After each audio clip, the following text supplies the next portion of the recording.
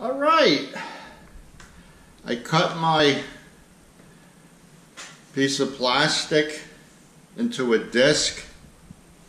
This is what it's going to look like with the three cameras. Right now I only have two cameras. I'm going to have to pick up a third one when I get the right deal on it. So what I did was put a tape around it, got the circumference, divided it by three, put a mark every nine inches, and um, that gave me the spacing I need. It also gave me the center point.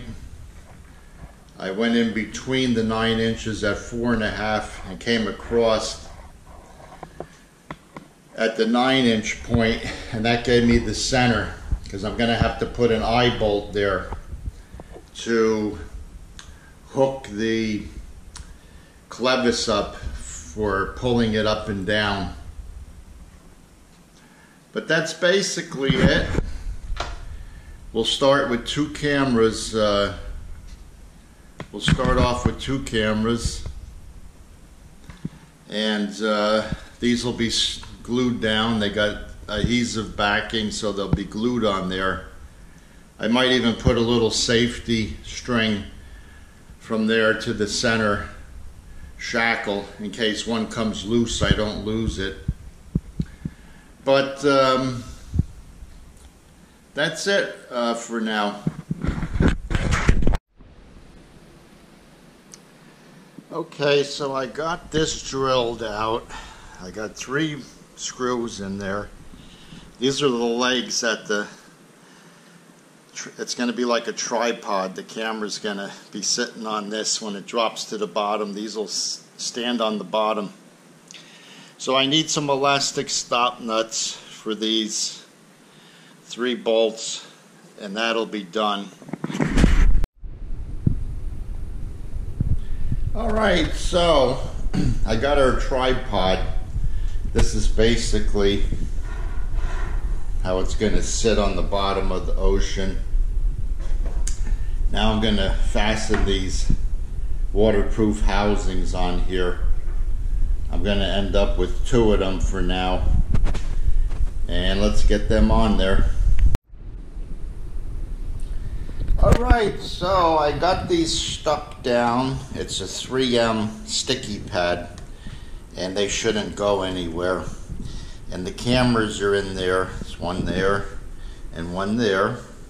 Eventually, I want to stick another one over here so I have full coverage, 360 degree coverage, but I have to find it for the right price. This is going to be the lifting tab to lift it up and I'm going to put a weight underneath. The weight's going to hang down so it stays anchored down.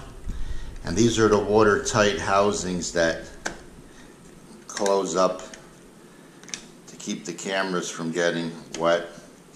Now these cameras, I mounted them on the side because that's how I got the housings mounted. And there's an adjustment here so you could move the lens so you're straight up and down here with the filming. Okay. Okay, here's the finished product. And what I did was I hung this weight. I'm going to use a downrigger weight because it's already on the boat.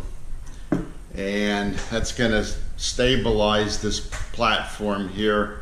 It'll drop down. These things will stick in the sand and, and this will keep it in place. And I'm going to hang it by this hook here and then, like I said, I have two cameras right now on the tripod. I want to get one more pointing off the back so I have 360 degree coverage. And I'm going to try to get out I think Monday. It's going to lay down. They're talking one to two foot so I'm going to try maybe for Monday. So maybe I'll give this thing a try Okay. Thanks for watching.